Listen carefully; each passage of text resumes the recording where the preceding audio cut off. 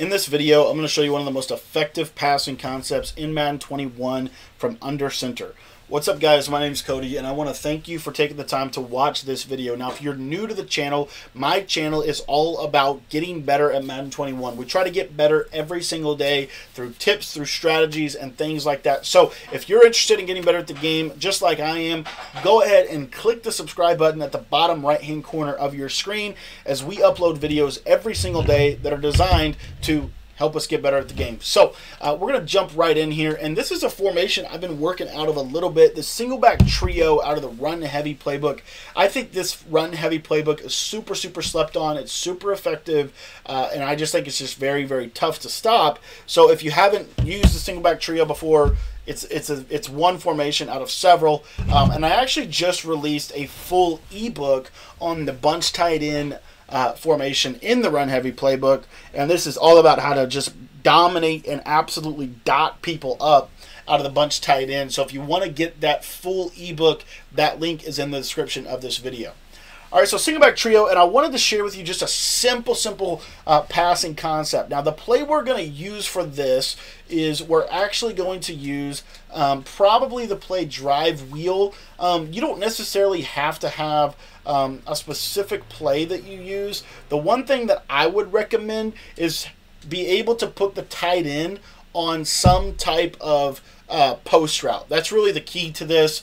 Again, um, if you have Hot Route Master, like most of you probably do, then this should be, you know, should not be a problem whatsoever. So anyway, drive wheel is what we're going to use though in this in this setup. And as you can see here, um, he's on this little short post. And what I like about this specific route is you can smart route it. The reason that that is, is important is because against man coverage, he's going to absolutely die. He, I mean, he's going to he's going to just get open. I mean, he's just going to get open and just have. I mean, just throw lasers to him. He's going to be wide open. So obviously you want to do that. the next thing that I like to do is I like to take Valdes-Scantling and put him on an out route. And then what I'm going to do is I'm going to take Davante Adams and I'm going to put him on a curl.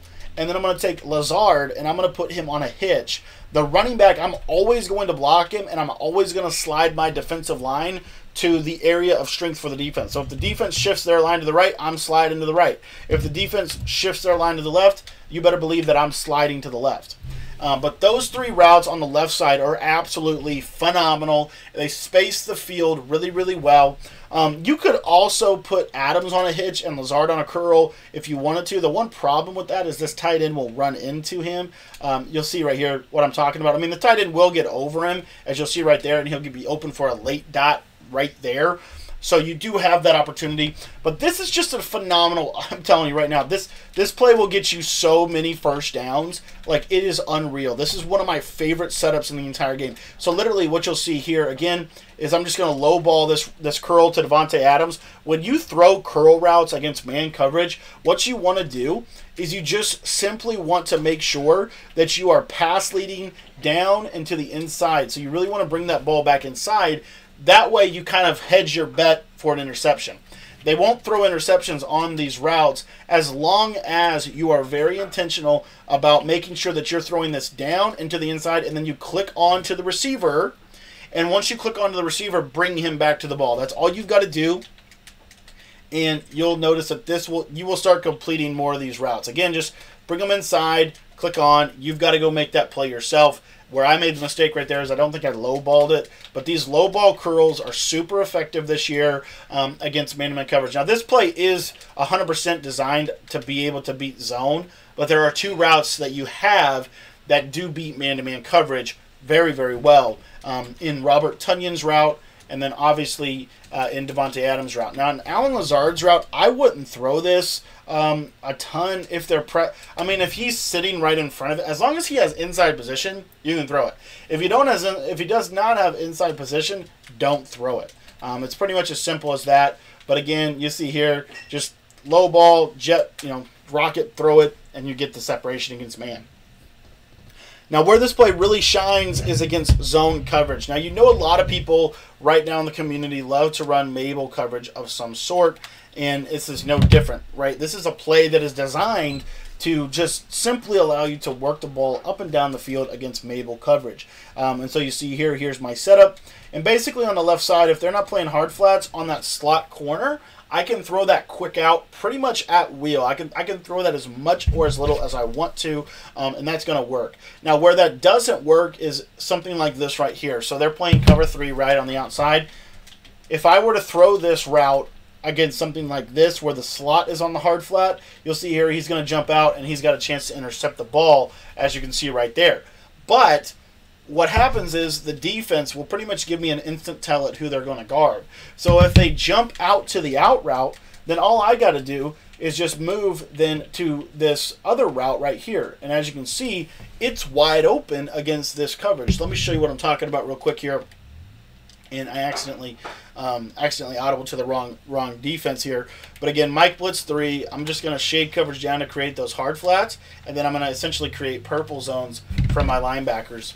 And what you'll see here is, again, and this is the setup that they're, they're going to have to have a hard flat from somebody on the left side. So if they do that, then what you're going to notice is they're going to jet right out to it.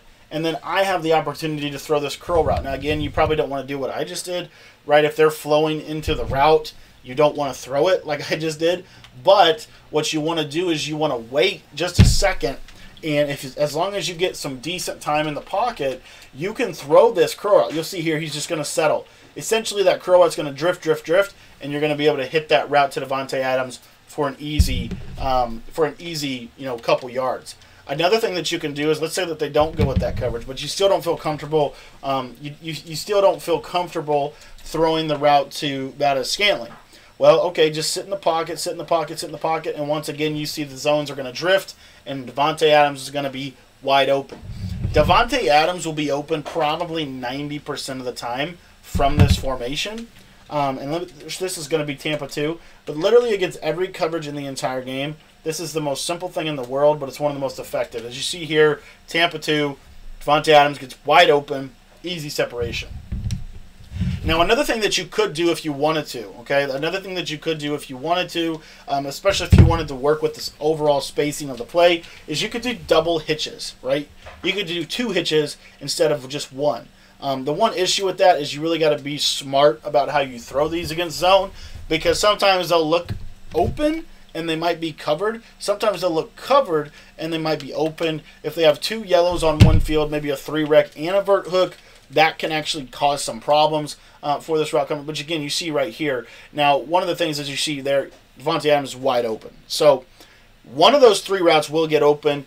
The reason I personally like the curl route is I think the curl route does a little bit better against man coverage. If you get in a situation um, where you're facing man, um, you want to have you know something like that to go to. One thing I didn't hit on was this corner route, or this not corner route, but this post route essentially acts like a corner route on the left side as well that goes over to the top of the whole thing.